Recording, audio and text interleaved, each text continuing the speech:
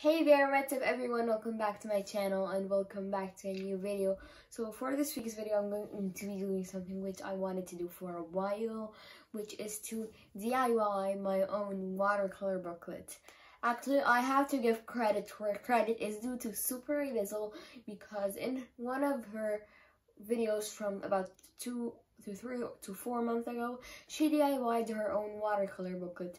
So from that point, I just wanted to do it. I just wanted to do it and she did it as a part of a hack video but I said to myself I should probably remake it into a video where I do an artwork with them and test them and see everything about them. So that's what I did today. So of course subscribe hit that notification bell and also go to my Instagram if you were interested in my work and you want to see pictures and anything like that and I would just like to give two shout outs before we start this video to one of my personal friends Nitro FN. He's a gamer here on YouTube who does gaming videos and I'm pretty sure that you're gonna be interested in his content. And the second channel is One Minute Hacks. One Minute Hacks uploads videos about anything that you can imagine, any hack that you can imagine, and uh, make sure to go to their channels, which its link is gonna be down below, and go and subscribe to their channels. And yeah, so without further ado, let's begin. Okay guys, so the first item which you have to have is some water color paper. The reason that you want some good quality watercolor paper is that you're gonna be drenching it in water, like as a normal palette. So you're gonna be needing some watercolor paper. Next up in the game is some watercolor pencils.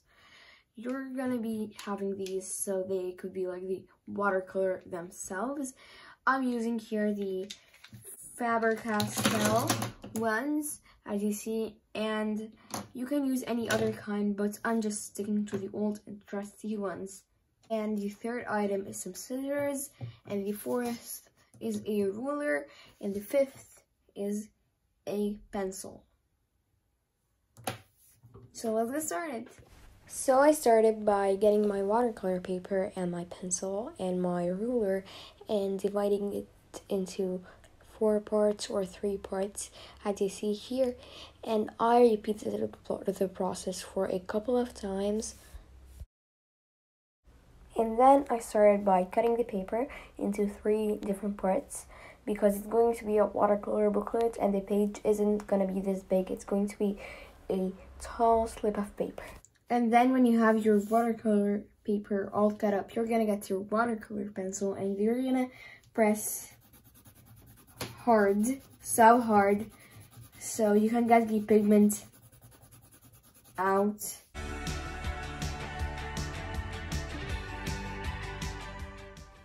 And as you see here, I started pressing so hard so I could get the pigments out. Honestly, it was just so frustrating.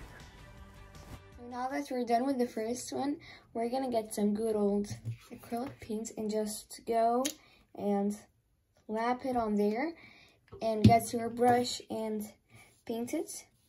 And what that will help in is that it will make the paint not go like like soak into the paper because after all it's a it's paper and it can happen the the water can soak through the pencil so you don't want that to happen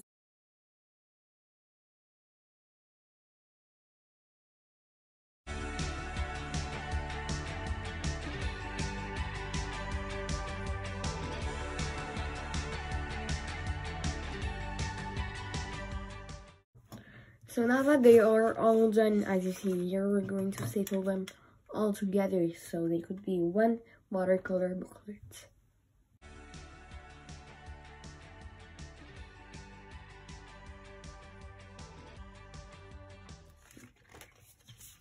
Guys, we're done with it all.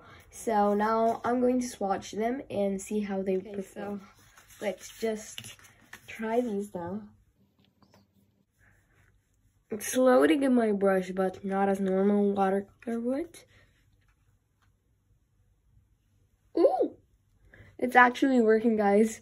Guys, I don't believe this. What is this wizardry? I'm going to swatch all of the other colors and come back.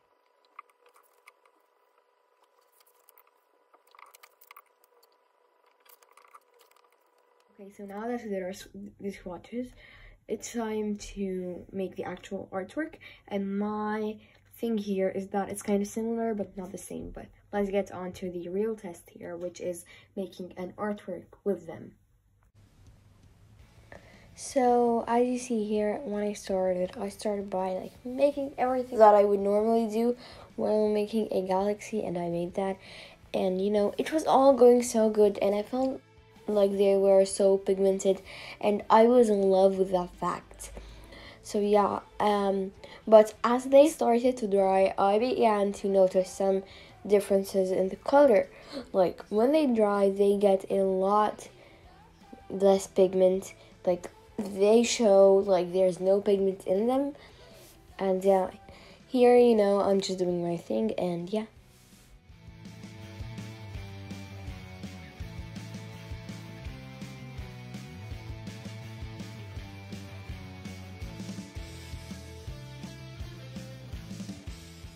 and here is when I started to notice that they don't blend as good as normal watercolor.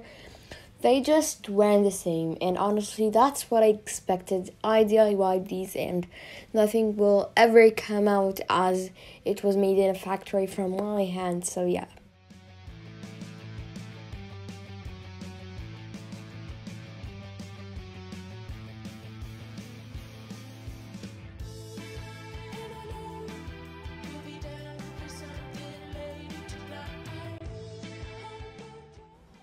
and yeah at this point i was probably like these are the same thing as the other watercolor. There's no difference.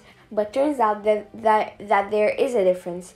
The difference is that when it dried i'm going to show you a side-by-side -side comparison and show you when it dried how much pigment faded out of it